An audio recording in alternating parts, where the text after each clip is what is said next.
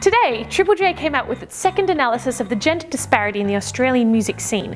And although we're a long way from having equal numbers of men and women, it looks like we as a nation are heading in the right direction. In some areas, the gap has gotten smaller, but marginally. Some of the more male dominated spots in the industry were again the artist and record label manager positions. Despite that, there are slightly more women working in the independent music management circuit, which went from 20 to 23% this year. But across the rest of the industry, the figure has tipped towards the gents. It's now sitting at about 60% male. Public board members on peak music bodies in Australia have also become more male. Staff at Triple J stations has remained pretty even. Meanwhile, Triple J Unearthed remains Triple J's most gender diverse station, with the most female feature artists, J Award nominations, and the representation of female artists in a typical week's programming. The number of females registered amongst APRA's 87,000 registered members remains at 1 in 5. Although this is a slight increase from last year, this is still pretty dire as APRA is the body that ensures that artists get paid royalties for their work. Speaking of APRA, both the APRA Awards and the ARIA Awards stayed pretty much the same this year,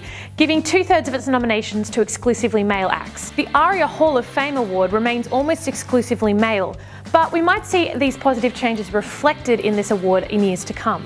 In positive news for new music creation, females received more grants from the Australian Council of the Arts last year than males did. Interestingly, although the Triple J Hottest 100 for 2016 was about two thirds male, the ARIA Top 100 Singles Chart and the Apple Music Best of 2016 were clear female majorities. As for festivals, which is something that we've covered here before, it's pretty clear that male dominance is still across the board. Laneway again in 2016 topped the list for female acts with 36%. Falls and Splendour in the Grass weren't too far behind. Groovin the Moo fell last year to only 21% of its acts featuring at least one woman. Credit must be given to the EDM heavy festival Listen Out, who went from one of the industry's lowest rate of female acts at 9% to 35% this year.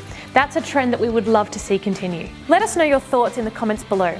I'm Jess and you're watching The Brag.